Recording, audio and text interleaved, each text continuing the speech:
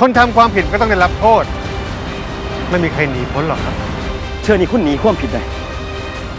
แต่ผมเชื่อว่าคุณนอนว่าหลับดอกคุณต้องระแวงไปอีกดอกพวกคุณ เอาแต่สิทำข่าวจนลืมนึกถึง ผลกระทบที่จะเกิดขึ้นกับคนอื่น พวกคุณหิวข่าวจนย่อมละเมิดสิทธิของนักโทษ หลานข่อย พวกเจ้าก็เอาไปประจานออกหน้าจอทีวี คันสั้นก็อยาเอิ้นว่าเป็นนักข่าวเลย คือมันก็ช่วยไม่ได้ เพราะว่าอะไรที่มันเป็นความสนใจของประชาชน มันก็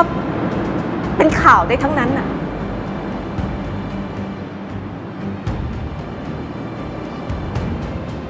เฮ้ย นั่นคุณธีริศ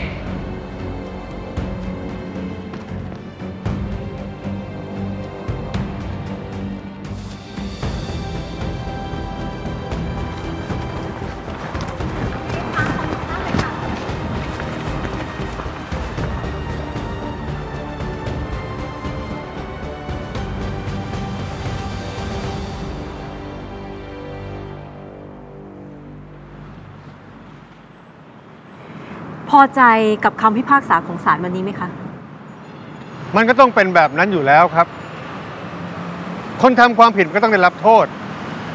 ไม่มีใครหนีพ้นหรอกครับจะเพิ่งดีใจไปเลยครับ เชื่อนี่คุณหนีความผิดได้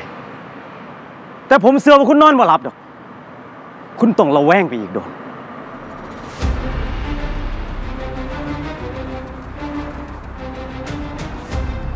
ศาลท่านตัดสินไปแล้ว คนทำผิดก็ต้องยอมรับความผิดสิแต่อายผมบ่ได้ผิด เป็นห่วงได้ซุ่มซัวๆนั่นแหละครับ คุณทิริเทศบุญนี่นะครับ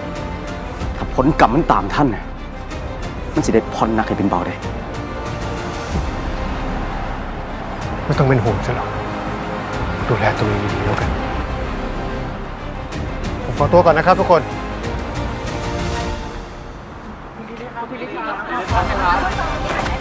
คุณธีริศครับ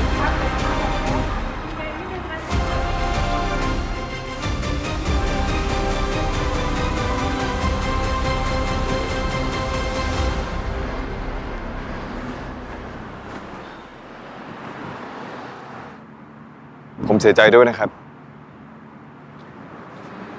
ขอบคุณหลาย ๆ ค่ะ ศาลมันก็ต้องตัดสินไปตามหลักฐานพยานครับ แต่ผมเชื่อว่าอายผมไม่ได้ฆ่าพ่อเจ้า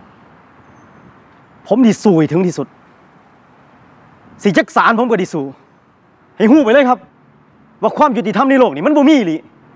อย่าเพิ่งหมดหวังนะครับ เรายังมีโอกาสสู้อีกสองศาลผมจะไม่ยอมให้ป้าผมตายฟรีเหมือนกัน ผมจะสู้ไปกับพวกคุณด้วย